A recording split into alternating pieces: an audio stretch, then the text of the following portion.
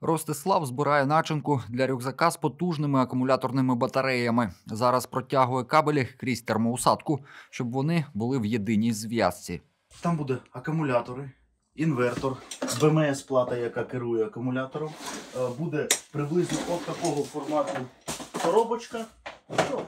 Ось такого формату коробочка, де будуть встановлені всі роз'єми для користування. Тобто, от такі у нас йдуть USB-шки, дві штучки, Quick Charge, один прикурювач, Дві розетки, індикатор заряду. Ростислав говорить, що збирає такий акумуляторний наплічник в середньому за день. У цьому великому відділі ми кладемо акумулятор та інвертор.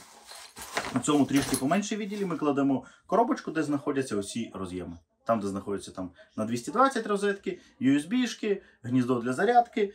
Собівартість такого девайсу 25-26 тисяч гривень. Ростислав з дружиною зробили вже понад 50 подібних наплічників.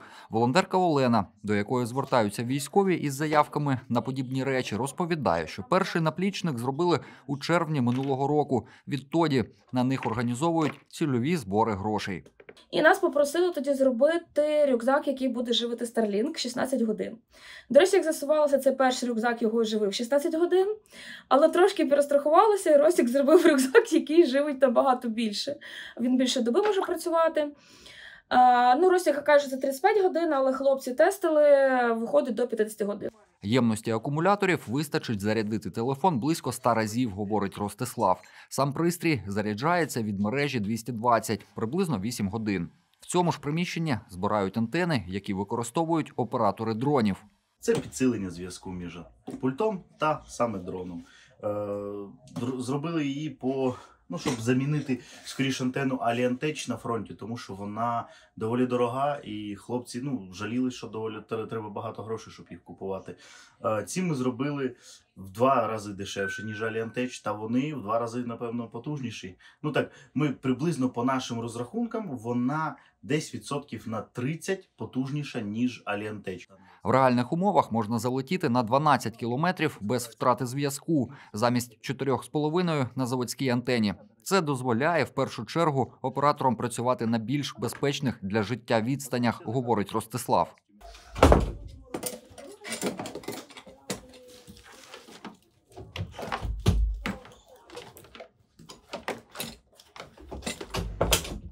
Це, от, в принципі, такий комплект. Готовий вже для використання.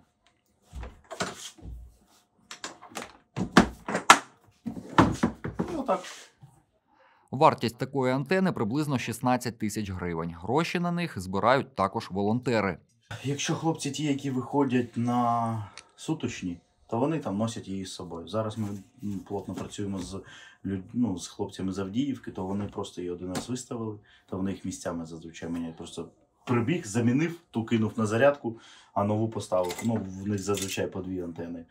Ростислав говорить, що компоненти рюкзаку і антени прості, невибагливі та швидко замінні, що дає змогу відремонтувати пристрої в полі.